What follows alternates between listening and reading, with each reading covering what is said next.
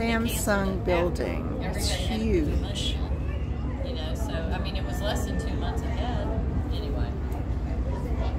Um, It all worked out. It's crazy time.